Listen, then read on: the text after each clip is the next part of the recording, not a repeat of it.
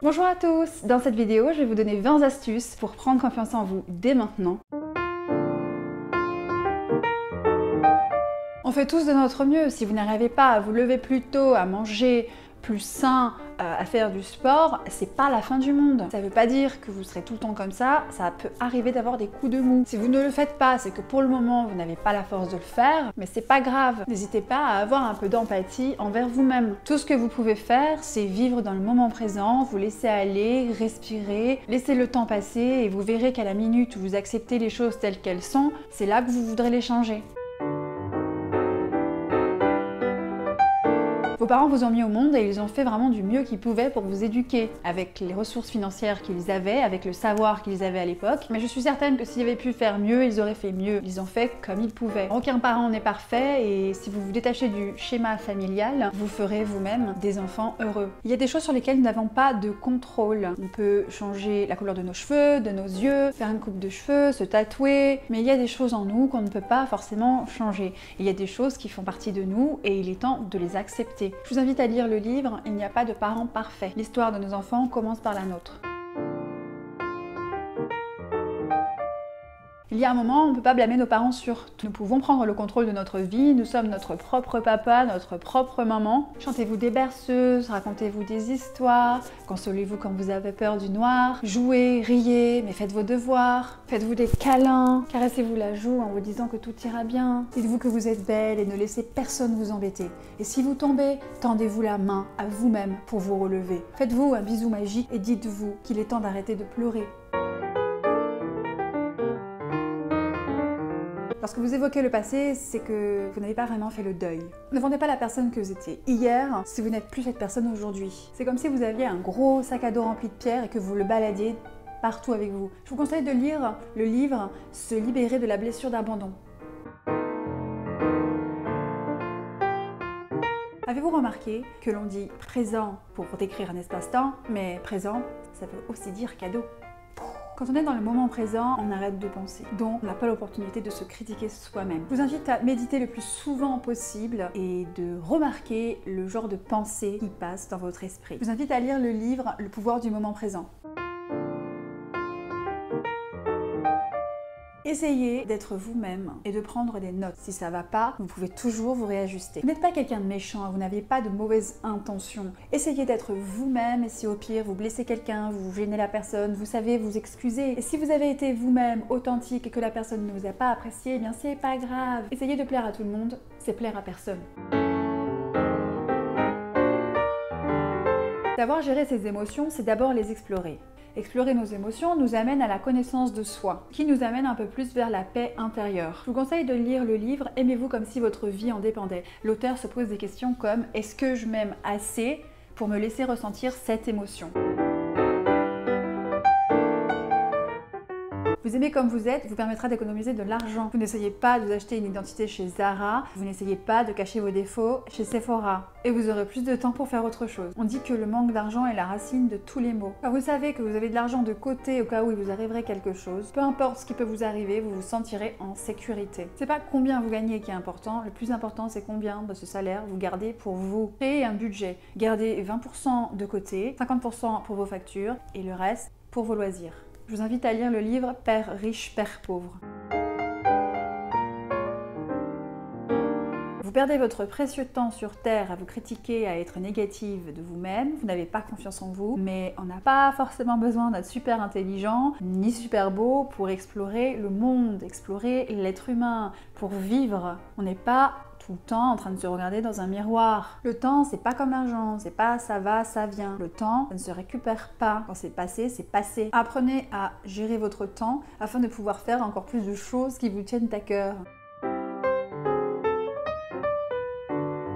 Quand on réussit quelque chose, on ressent du bonheur et de la fierté. Les accomplissements, surtout ceux qui nous tiennent à cœur, nous aident à prendre confiance en nous. Peu importe le genre d'accomplissement que vous visez, peu importe ce qui vous intéresse, faites-le. N'hésitez pas à vous lancer et ne prétextez pas que ça vous apportera rien. Au-delà de l'aspect financier, le bonheur, c'est pas rien. Vous avez la chance d'être en bonne santé, profitez-en. Le temps passe, c'est précieux, et surtout en ce moment. Connaissez-vous la méthode Coué? Non, pas la méthode Coé. C'est une méthode fondée sur l'autosuggestion. Si étant malade, nous nous imaginons que la guérison va se produire, celle-ci se produira si elle est possible. Dans un aperçu des séances de M. Coué, Émilie Léon note les propos suivants. Et vous n'avez obtenu aucune amélioration. Savez-vous pourquoi? Tout simplement parce que vous manquez de confiance en vous. Quand je vous dis que cela va mieux, cela va mieux, n'est-ce pas? Pourquoi? Parce que vous croyez en moi. Croyez donc en vous et vous obtiendrez le même résultat. Dès lors, le patient rentré chez lui va commencer à pratiquer la méthode Coué. Il prononce sous la forme d'une litanie persuasive aussi enfantine, aussi machinale que Par conséquent, sans moindre effort, la phrase Tous les jours, à tous les points de vue, je vais de mieux en mieux. Connaissez-vous le fake it until you make it? Faites semblant jusqu'à ce que ça devienne une réalité. Comportez-vous comme une licorne, même si vous vous sentez comme une baleine. Votre cerveau finira par croire que vous êtes vraiment une licorne, et le monde le croira. On se sent tellement bien après une séance de sport. En plus, ça permet de rester dans le moment présent. Et on l'a vu, rester dans le moment présent permet de ne pas nous critiquer nous-mêmes autant qu'on le fait et aussi souvent. De plus, le sport peut représenter un accomplissement et ça crée de l'endorphine. Une chose dont on peut abuser sans danger, c'est le rire. Arrêtez de vous prendre au sérieux, plaisantez. Le rire est gratuit, accessible et ça fait du bien. Le rire est thérapeutique, moins de stress, plus de bien-être. Si vous utilisiez l'autodérision un peu plus souvent, vous pourriez être plus souvent vous-même. Et en étant vous-même, vous découvrez votre propre personnalité et celle des autres. Et savoir rire de soi-même est une force dont vous pouvez être fier. Vous découvrirez ainsi ce qui vous fera rire, mais aussi ce qui fera rire les autres, ce qui vous amène à faire connaissance avec le monde de manière très agréable. De plus, le sens de l'humour en dit beaucoup, beaucoup, beaucoup plus que vous ne pensez sur les C'est en osant certaines blagues que l'on communique ses valeurs. Et c'est en communiquant ses valeurs que l'on se rapproche des autres. Même si nous avons des loisirs différents, des croyances différentes, des goûts différents et un physique différent, nous avons tous un cœur, nous avons tous des émotions et nous avons tous besoin d'amour. On est tous des êtres humains qui ont besoin de trouver un sens à la vie et on essaye tous du mieux qu'on peut de vivre en communauté. Tout le monde se compare à tout le monde. Admettons que vous allez rencontrer quelqu'un pour la première fois et vous êtes préoccupé, vous vous demandez si la personne va vous trouver gros ou grosse. Cette personne ne le remarquera sûrement pas. Déjà parce que c'est subjectif. Et en plus, cette même personne est sûrement en train de se demander si elle va vous plaire. On est tous préoccupés par nous-mêmes. On veut tous se sentir unique, mais on confond unique avec différent. On est tous narcissiques car finalement, aussi différents que nous pensons être, on aime souvent ceux qui nous paraissent très ressemblants. Mais différent ne veut pas dire être meilleur. Lorsque l'on connaît sa propre valeur, nous n'avons rien à prouver. Nous avons l'audace de nous fondre dans la masse. On est prêt à tellement de choses pour montrer au monde à quel point on est unique. Mais on est tous hypocrites. On essaie de le prouver au monde en espérant nous convaincre nous-mêmes pauvres âmes en peine. Mais on peut se sentir spécial là, maintenant, sans avoir à être différent. L'amour propre, ça vient de l'intérieur, du respect de nos combats, du respect de notre cœur qui bat, du respect de notre vie. On passe 24 heures sur 24, 7 jours sur 7 en notre propre compagnie. Nous sommes les mieux placés pour savoir qui nous sommes, et la somme de nos défauts, nos échecs et nos souffrances ne devrait pas nous assommer. Le respect s'acquiert quand malgré tout ce qu'on a d'imparfait, on a le courage de défendre nos droits, car beau ou pas beau, intelligent ou pas, on a le droit d'être là. D'ailleurs, qui essayons-nous d'impressionner?